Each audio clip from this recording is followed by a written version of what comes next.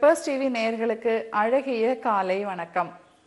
நேத்திக்கு நாம ரவீந்திரநாத் தாகூருடைய வாழ்க்கை வரலாற கதையாக கேட்டுட்டு இருந்தோம் அதில் சாந்தினிகேத்தன் என்ன ஆச்சு எப்படி உருவெடுத்தது அப்படிங்கிறதோட நாம் கதையை முடிச்சிருந்தோம். இன்னைக்கு அங்கேருந்து தொடர்கிறோம் சாந்தினிகேத்தனுக்கு அவருடைய மனைவியும் ரவீந்திரநாத் தாகூரும் போகிறாங்க போய் இயற்கை முறையில் இயற்கையோடு இயைந்து ஒரு பள்ளிக்கூடத்தை அவங்க வந்து ஆரம்பிக்கிறாங்க. அங்க இருக்கிற மாணவர்கள் கல்வியும் கத்துக்கிறாங்க.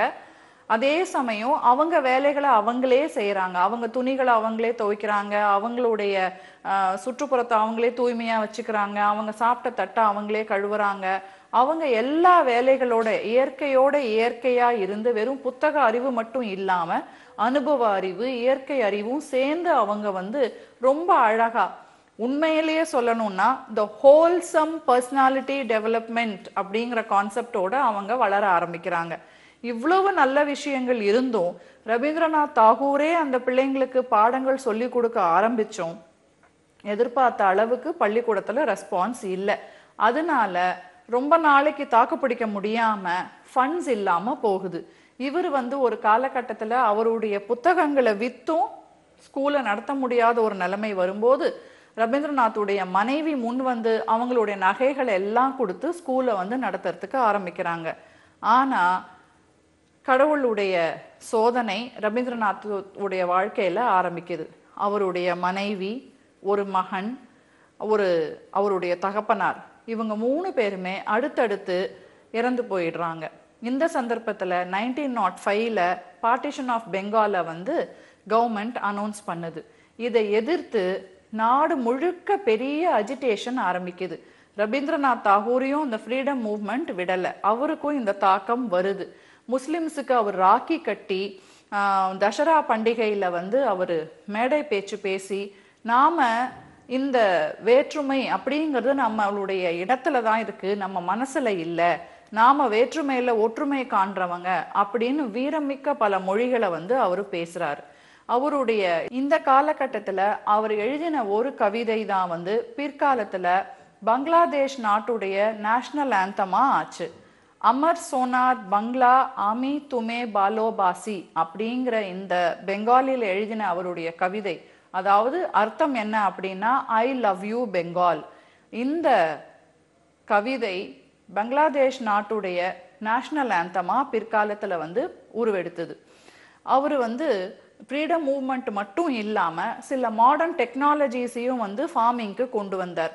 அவருடைய பையன் ரத்தின ரத்தீந்திரநாத்தை வந்து வெளிநாட்டுக்கு அனுப்பி படிக்க வச்சு ஃபார்மிங் மெத்தட்ஸ் அதாவது டிராக்டரை வச்சு உழறது மாடர்னாக ரொம்ப கடினமான உழைப்பாக இல்லாமல் விவசாயத்தையும் வந்து டெக்னாலஜியை உபயோகப்படுத்தி கொஞ்சம் மாடர்னைஸ் பண்ணுறது வந்து இந்த காலகட்டத்தில் அவர் செய்ய ஆரம்பிச்சார். ஃப்ரீடம் மூவ்மெண்ட் மட்டும் இல்லாமல் அவருடைய புரட்சிகரமான எண்ணங்களுக்கு ஒரு எடுத்துக்காட்டா பிரதிமா தேவி அப்படிங்கிற ஒரு விதைவைய அவருடைய மகனுக்கு திருமணமும் செய்து வைக்கிறார். அவர் வெளிநாடுகளுக்கு பயணம் போகும்போது டபிள்யூ பி ஈட்ஸ் அப்படிங்கிற ஒரு மிகப்பெரிய கவிஞர் ஆங்கிலேய கவிஞர் கீதாஞ்சலி ரவீந்திரநாத் தாகூர் எழுதின கீதாஞ்சலியை படிச்சுட்டு இந்த மாதிரி ஒரு கவிதையை நான் இது வரைக்கும் படிச்சதே கிடையாது. என்னுடைய இருதயத்தையே வந்து புரட்டி போட்டுடுச்சு அப்படின்னு புகழ்ந்து பேசுறார். இந்த பாராட்டெல்லாம் வெளிநாட்டவர்கள் தான் ரவீந்திரநாத் தாகூருக்கு கொடுக்குறாங்க.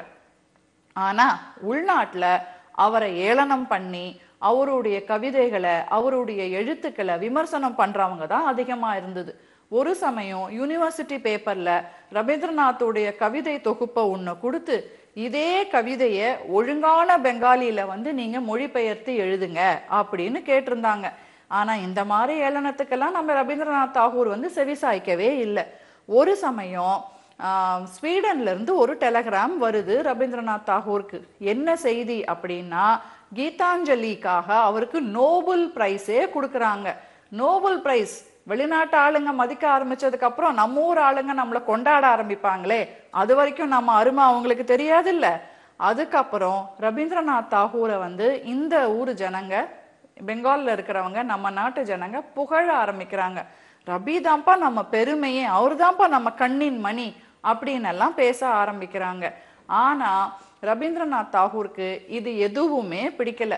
வெளியில அவங்களுக்காக அவர் அத்தனை பாராட்டுதல்களையும் வாங்கிக்கிறாரே ஒழிய உள்ள தனிமையில இருக்கும்போது இந்த நானுங்கிற அகந்தை என்னை எந்த விதத்திலையும் பாதிக்க கூடாது. நான் ஒரு சாதாரண மனிதன் அப்படின்னு அவர் வந்து இருக்கிறார்.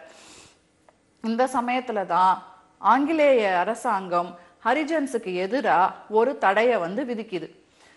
இத கேள்விப்பட்டு மகாத்மா காந்தி ஒரு உண்ணாவிரதம் இருக்கிறார். அதாவது சாகும் வரை உண்ணாவிரதம்.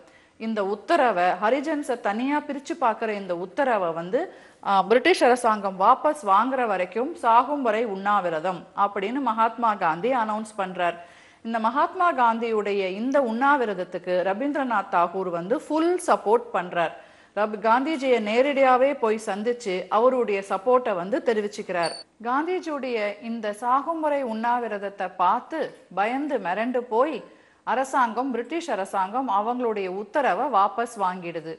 காந்திஜி அவருடைய உண்ணாவிரதத்தை லைம் ஜூஸ் குடிச்சு அதே சமயத்துல வயிற்றுக்கு லைம் ஜூஸாகவும் காதுக்கு ரவீந்திரநாத் தாகூர் அவருடைய கீதாஞ்சலியிலிருந்து அவருக்கு பிடிச்ச பாடல்களை பாடுறத கேட்டும் அவருடைய உண்ணாவிரதத்தை முடிக்கிறார்.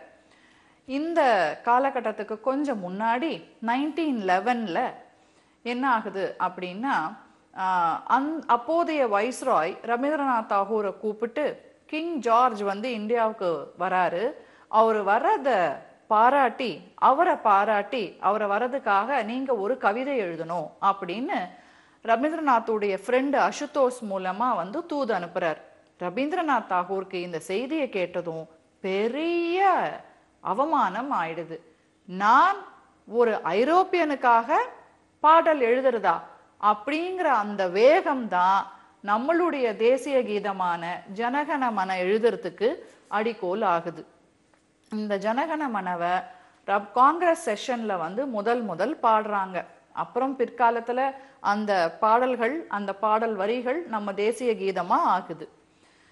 இப்போ நோபல் பிரைஸ் நம்மளுடைய ரவீந்திரநாத் தாகூருக்கு கொடுத்த சமயத்துல ஆங்கில அரசாங்கமும் அவருக்கு நைட்ஹுட்டை கொடுத்து அவரை கௌரவப்படுத்துது. ஆனா ஜாலியன் வால் ஜாலியன் வாலாபாக் படுகொலை இந்த படுகொலை நடக்கிற சமயத்துல ரொம்ப அதிர்ச்சி அடைஞ்ச ரவீந்திரநாத் தாகூர் தன்னுடைய எதிர்ப்பை வந்து ஆங்கில அரசாங்கத்துக்கு கட்டாயம் காட்டணும் அப்படின்னு அப்போ இருக்கிற வைஸ்ராய்க்கு ஒரு விவரமான கடிதத்தையும் அவருடைய நைட்ஹுட் நைட் பட்டத்தையும் அவர் வந்து வேண்டாம் அப்படின்னு துறந்து ஒரு கடிதம் எழுதுறார். காந்திஜியுடைய உண்ணாவிரதம் முடிஞ்ச சமயத்துல சாந்தினி கேத்தனுக்கு உலக புகழ் அடையுது. அவருடைய நோபல் பிரைஸ் நோபல் பிரைஸ் கூடவே வந்த பணம் ஃபண்ட்ஸ் எல்லாம் சேர்ந்து இப்போ சாந்தினிகேத்தன் பள்ளிக்கூடத்துக்கு மாணவர்களே இல்லாம அவர் மனைவியின் நகைகள் அவருடைய புத்தகங்களை வித்து பள்ளிக்கூடத்தை நடத்துற நிலைமைக்கு இருந்த ஒரு நிலைமை மாறி உலக புகழ் அடையுது. வெளிநாட்டவர்களும் வந்து அந்த பள்ளிக்கூடத்துல படிக்கிறது ரொம்ப ஆர்வமா வந்து செய்கிறாங்க நம்ம நாட்டவர்களுக்கு கேட்கவே வேண்டாம். சாந்தினிகேத்தன்ல படிக்கிறது ஒரு பிரஸ்டீஜா மாறுது.